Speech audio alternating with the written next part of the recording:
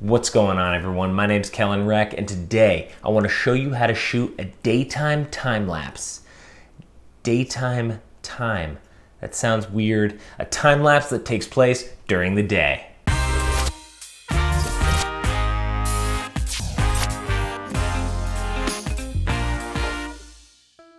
So today we're looking specifically at time lapses that take place during the day when the sun isn't changing all that much. There's consistency to the sun. As an alternative to this, I'm gonna be doing future videos where I'll do a time lapse lesson on sunset and sunrise when the when basically the sun is changing over a period of time and then also nighttime time lapses. Those videos to come. Today is just the daytime time lapse. The time time again, that's gonna that just so for these time lapses, generally what you'll want is some sort of motion in your shot. Obviously that's what makes the time lapse effective over time.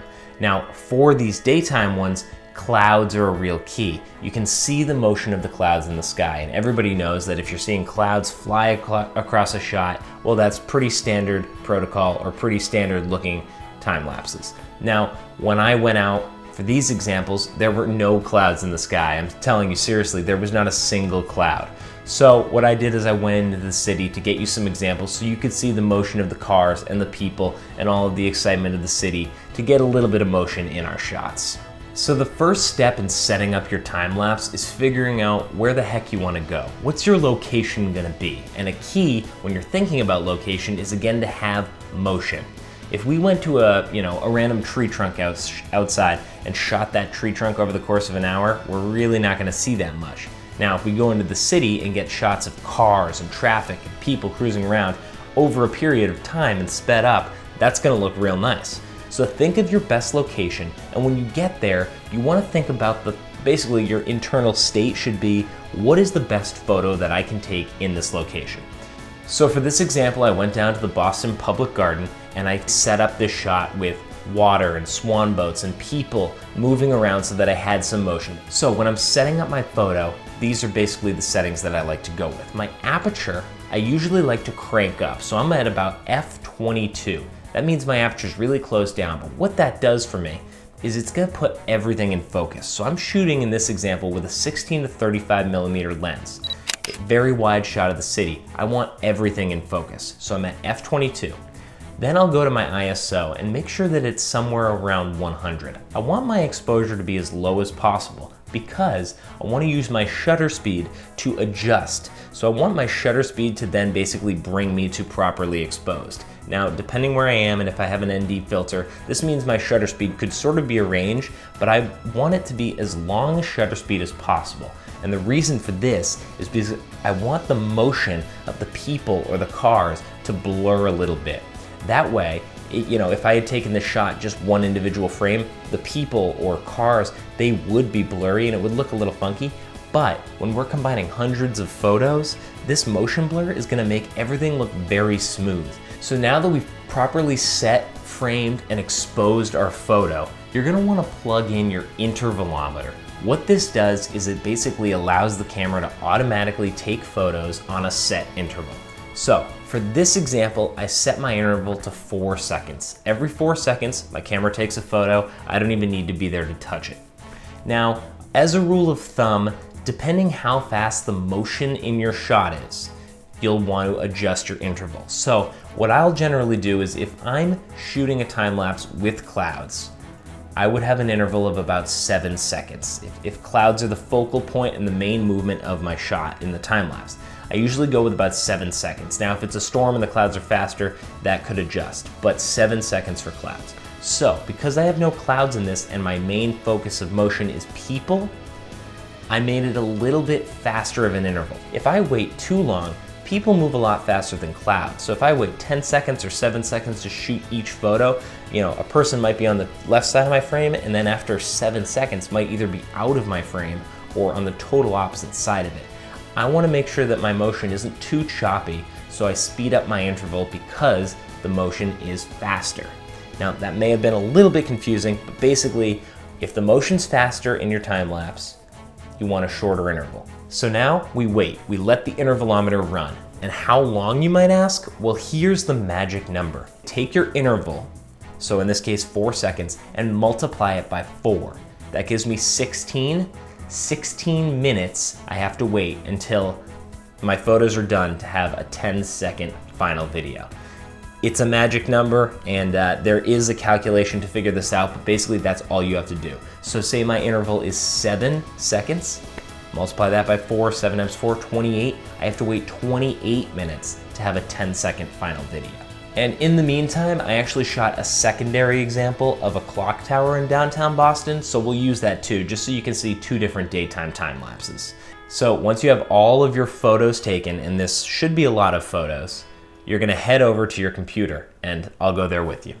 The first step in the process is basically we wanna have our files onto the computer. So I wanna bring all of these photos into Adobe Lightroom. So let's open that up. So when I get in, you just wanna go File, Import, and navigate to your folder and they'll just take a minute or so to import. So we've got about 250 photos, so we're gonna dive in. Once they're all in here, you just wanna go to Develop. Now, what I'll usually do is I'll usually go about halfway through. The reason that I want to be in the middle is because it doesn't so much matter for a shot like this, um, where nothing's really changing in terms of time of day. But in a sunset one, it's more important to go in the middle because that's the middle exposure between the brighter ones earlier in the day and the darker ones as the sun sets or rises. So I like to go in the middle regardless of the time lapse I'm doing. And then I'm just gonna start to edit. Now this is basic Lightroom editing. I don't wanna go too crazy and stylized on this because I want it to look more like a standard video rather than a stylized edit of a photo, but you can go in and just make your adjustments. So I'm just gonna quickly do a touch up on this shot here. So you see I have this photo edited and this is my edit right now. So what you wanna do at this point is click on the photo that you've made the edits on, hit Command A, or highlight all of these. You can also go into edit, select all. You want all of your photos selected and then make sure again you were clicked on your edited photo first and then you're just gonna hit sync. Now what this will do is it'll bring up this box here and I have everything checked here because I want to sync everything. Now this is my edits, my crop, my rotation. I want this to apply to all of the photos in this group here. So I'm going to hit synchronize. Should be a relatively instant transfer. Now all of my photos will have the exact same settings that I put on my previous photo. So at this point, it's time to start exporting. So I'm gonna go up to File, Export, and we're just gonna find a destination. So I usually bring them to the original folder these are in, and within that, create a new folder called Edited Photos. This way I know that these are my edited shots. Now, these I'll also do a JPEG at 100 quality because that'll just make things a lot easier when I'm actually editing the photos in Premiere to export as a video. Uh, I don't want to export as, I mean, you could export as a number of different things, but JPEG has worked the best for me. So we'll export. And this is probably the longest part of the process, waiting for these hundreds of photos to export. I have 224 photos. They all of these edits applied to them. They're all going to be exported out of here. So this will take a little bit of time, so bear with me on that. While we're waiting on this, I do want to touch on one thing. Um, a lot of people will do their time lapses by just basically recording video and letting it run for five, ten minutes, or even longer. This is totally acceptable and totally doable. When I'm on a quick trip somewhere or moving around quickly, I'll do this quite a bit and it, it's, you know, it looks good. I will say you will not have nearly as much control with the colors as you will in this process and also the resolution in this manner is going to be far and away better. I mean, when you record a video and basically let it run, unless you're shooting in 4K, that final time lapse is 1920 by 1080, or it's whatever resolution you're shooting your video in. This is the resolution of your photo. So this shot here is basically with the rotation and everything, it's 565, sorry, 5,666 by 3,777. I mean, that's huge compared to 1920 by 1080. We're talking about massive, massive files. These are like 6K time lapses. So you can scale in on this when it's finished. You can do a whole bunch of different things with this. That's why this method is a better looking time lapse than your sped up video over a long period of time. That's just, you know, something I wanted to touch on and something for you to know. So now that we have all of our edited photos ready to go, I'm gonna highlight all of them and bring them into Adobe Premiere Pro. So one thing you wanna make sure of is you wanna go up to your Adobe Premiere preferences, go to General, and go to timeline. You wanna make sure that your still image default duration is just one frame.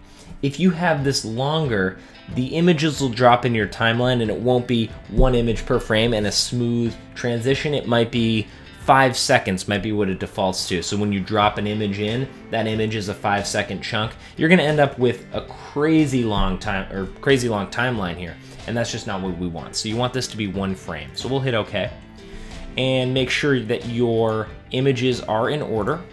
And we'll just highlight them all and drag them right, on, right onto our timeline. It's gonna create the sequence for us at the proper resolution, which remember is a huge resolution. Um, and in this case, because of the way I edited the photo, it's closer to a 4-3 aspect ratio rather than 1920 by 1080. So when you're finished with your time lapse, that's the aspect ratio that it will be. So when you do edit this into your video, you'll have to scale it or move it around a little bit. But again, this is just because you have so much resolution here, so it's a lot larger. And it's basically the way that the camera took the photo. So you could adjust that too in camera. So you'll see now we have each frame is the motion of the shot.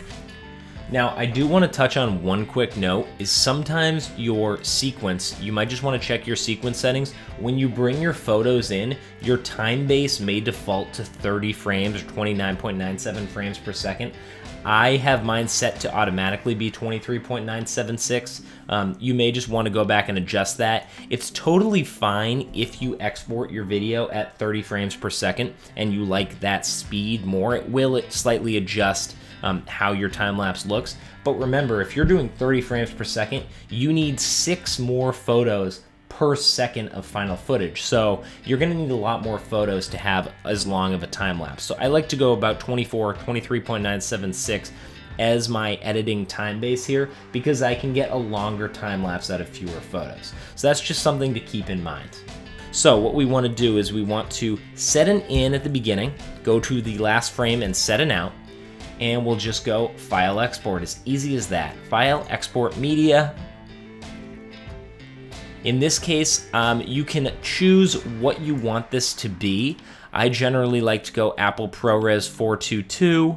I'm gonna go HQ so that I have the most detail in it.